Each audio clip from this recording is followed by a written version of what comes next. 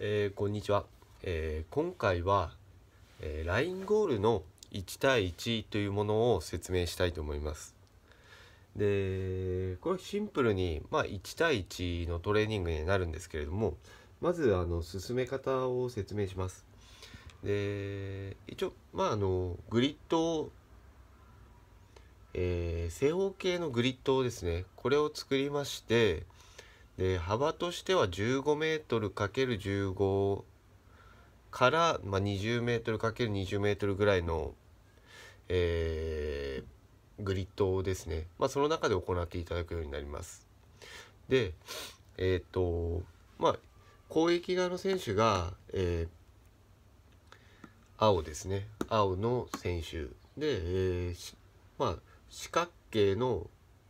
まあ、このポイントのところに、まあ、並ぶような形ですね。で守備側が、えー中に1人入って、まあ、時間で、えー変わるような形になるんですけれどもまず一旦ちょっと動かしてみますね。えーまずボールをも、まあ、各自ボールを持っている中でボールがこの青のちょっと分かりづらいんですが、えボールだとしてえっとまあプレーする選手がでで ABCD ってなってるんですけど、えーコーチが、えー指示をした選手でから、えー始めるような形で例えば A っていうふうに言った場合には A から、まあ、一旦ディフェンダーに渡してリターンでスタートって形ですね。でここから、えーまあ、A と C の選手であれば B と D のラインの方にドリブルをしていく。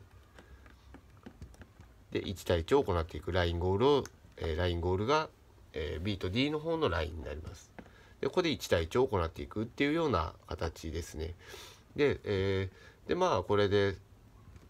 例えば、えー守備側の選手が奪ったそしたら、えーまあ、ボールについては、まあ、コーチが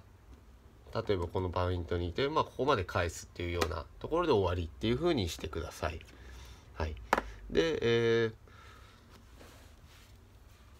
で時間で、えー、と守備の選手は時間で、えープレーを行うような形ですね。えー、と例えばまあ90秒とか、まあ、1分とかで、え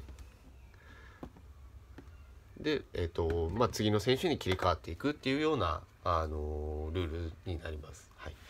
でまず A の選手で取ってでまた、えー、と次が D って言った場合には D の選手が反応して、えードリブルをしていくっていうような形ですね。はい、で、まあ、時間で、えー行っていくような感じですね。でまた新しい選手が入ってきて、えー次 C って言った場合には C の選手が出てくる。でここで1対1を行うっていうようなものになります。でまあできるだけまあ攻撃側の選手は、えー時間をかけない。で守備側の選手はできるだけ時間をかけさせて、まあ、自分の持っている、まあ、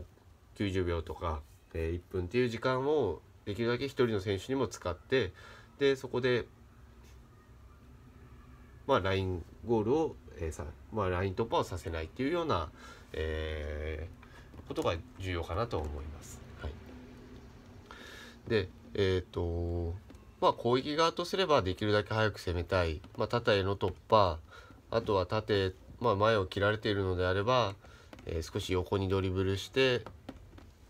えー縦に行くとか、まあ、そういうことができるのかなと思います。で攻撃側あの守備側の選手とすれば、まあ、縦を切るのか。それともまあ中を切り少し斜めのドリブルっていうのを切りながら限定させていって、えースペースを消していってボールを奪っていくのか、えーそういうような駆け引きが必要になってきます。はい、でまああとは、えー、とオプションとしては、まあ、今度は、えっと今1対1だったんですけれども、えー次2対2ですね2対2っていうこともできるので、えー次、まあ、この場合だと、まあ、B と D っていうふうになってここからまず、まあ、どちらかにリターンで、まあ、スタートするって形ですね。でえっ、と、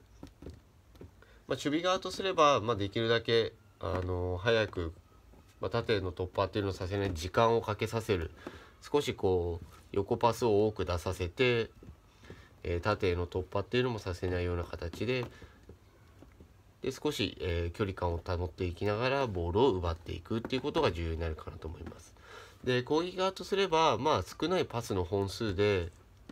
えー、シンプルに突破できるっていうのが一番いいので、えー、それを心がける必要があるかなと思います。はい、でこれも同じで、えーとまあ、ライン突破したらそこで、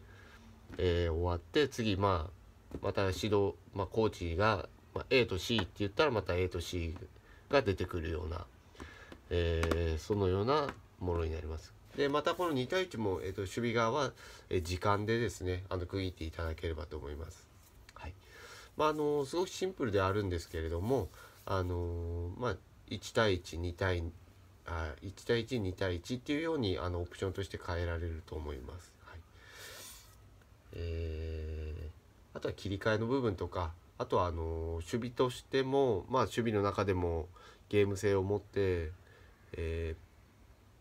まあ、失点がどのくらいで抑えられてるかとかその辺を競ってい、えー、くのも楽しいかなと思ってます。はいえーまあ、今回の LINE ゴールの1対1については以上となります。えー、ご視聴いただきありがとうございました。